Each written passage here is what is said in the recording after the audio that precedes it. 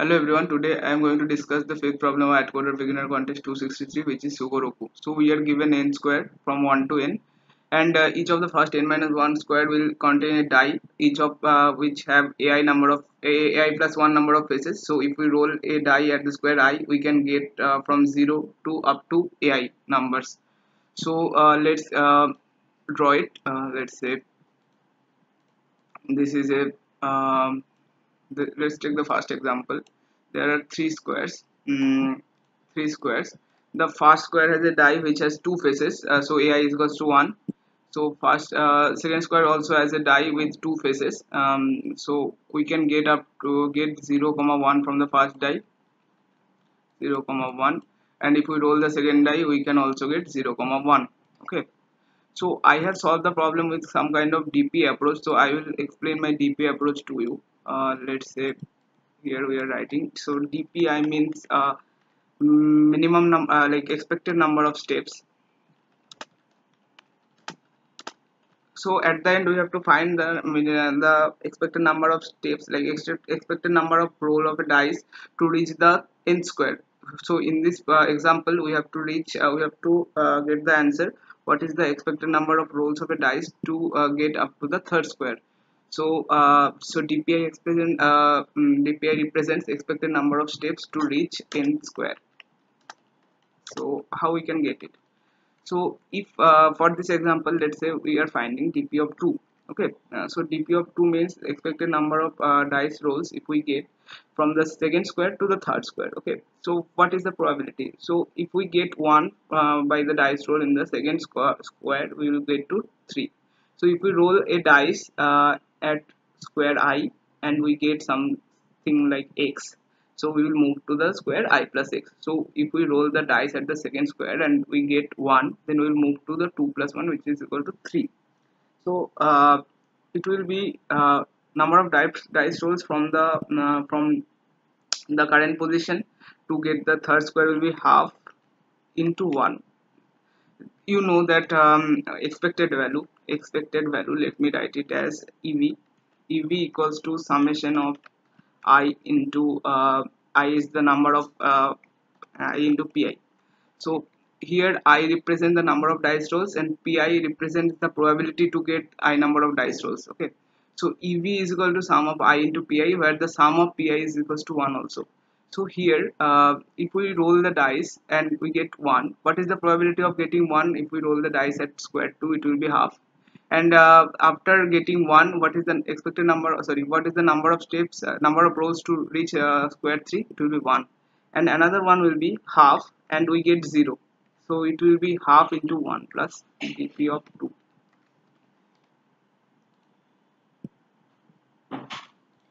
now uh, if we uh, simplify this equation we will get uh, dp2 into half sorry dp2 into half will be equals to half into half is equal to 1 so dp2 will be equals to 2 I think you got, get it? So now let's calculate dp1 so let's take another color. So dp1 will be what? Dp1 will be if we roll the dice and we get uh, 1 from the uh, dice from like dice 1 like dice at the uh, square 1 is dice 1 so if we get 1 so let's say we are getting 1 here.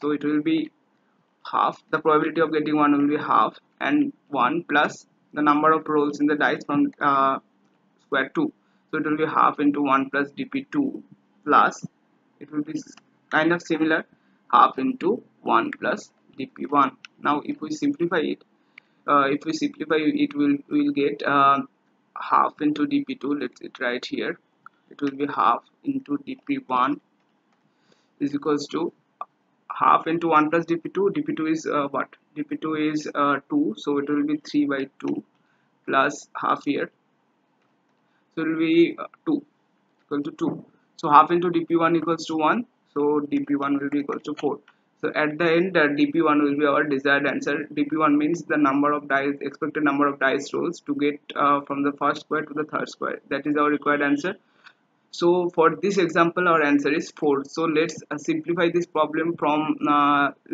for the uh, more values of i. Uh, so let's uh, simplify it for i equals to n.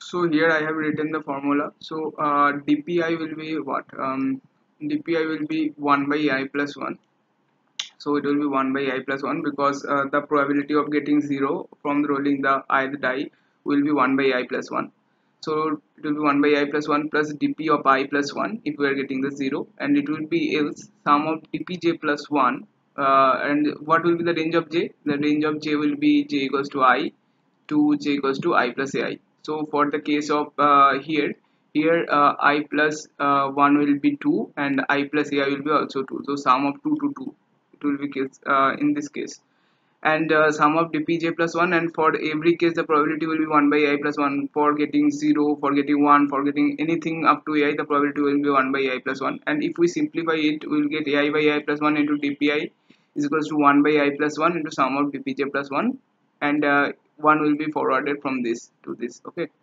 And at the end dpi will be ai plus 1 will get cancelled out from this and this so 1 dpi will be 1 by ai into sum of dpj plus 1 where j range from i plus 1 to i plus ai plus 1 okay. This is, this is very simple. I think you understood it. So for calculating this thing uh, we can do order of n uh, approach and for every uh, i will do order of n. So our overall time complexity will be order of n square. So somehow we have to reduce the time complexity of this operation. So for that we can use any kind of range data structure like range sum data structure. It will be either a segment tree or uh, Fenwick tree so I have used Fenwick tree here. So let uh, show you my code now. So uh, at the uh, first we are initializing dp of n minus 1 by 2 and we are updating the last position by 1 uh, so and uh, updating the like n minus 1 position by 3 so what I am doing here so let's go to this. So what I am doing here I am uh, storing uh, in the Fenwick tree. So in the Fenwick tree at the ith position I am storing dp i plus 1 so what what is the value of dp of n? So the value of dp of n will be 0 so we are storing 1 at the nth position. And what is the value of dp of n minus 1 so I have uh, like every for every case so let's uh, show you the constants now so 1 less than equals to ai less than equals to n minus i. So at the n minus 1 position it will be 1 less than equals to a of n minus 1 less than equals to 1 so the value of a of n minus 1 will always be equals to 1 okay uh, so that's the case here. So if we pre-calculate the value of dp n minus 1 from this formula we'll get what? 2 so uh, i am pre just pre-calculating it uh, you can just ignore this step also. You can just uh, st uh, start from i equals to n minus 2 so at the every at every step what i am doing is 1 plus query of i plus 2 to i plus a i plus 1 uh, as i am using zero based indexing so what i, I have to do i plus 1 uh, i plus 1 plus 1 to i plus ai plus 1 that's uh, similar uh, like if we if you use uh, like one based indexing then it will be i plus 1 to i plus ai uh, that's what i have explained in this case. This i plus 1 to i plus ai so after getting the sum uh, we are updating the value of the i plus 1 position by dp i plus 1 plus 1 and at the end I, we are printing the value of dp of 1 as here i am using one based indexing. So i hope you have understood the video and uh, if you have still any doubt you can always ask me in the comment section. And if you uh, are facing some issues with the problem or any other problems of this contest you can also write in the comment section. I will try to help you. Please like the video and subscribe to my channel. Uh, thank you